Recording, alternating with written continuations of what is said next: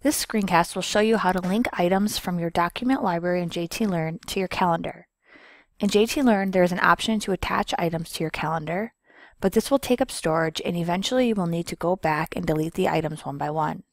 So your best bet is to put the file in your document library and link it. This screencast will show you how to do that. First, navigate to the document library where your file is located. Right-click on the file and click Copy Shortcut. The URL you just copied is really long with many characters, so you'll want to shorten it. To do so, open up another tab, such as tinyurl.com, and paste it in. You can then click Make Tiny. Your, URL has now been shortened. You'll want to copy the shortened one to your clipboard. You'll then want to navigate back to your JTLearn page where you want your calendar.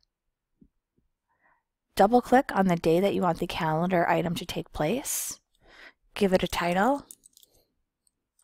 You can make it an all-day event by clicking this box down here, and then you don't have to worry about times.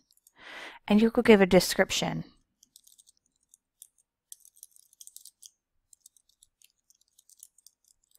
Here, you can then paste that link from the tiny URL, and students, when they click on it, it will open from their document library. You'll go ahead and click Save, and you'll notice it's there.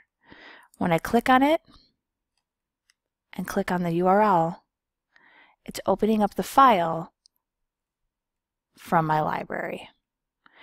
That is all. Thanks for watching.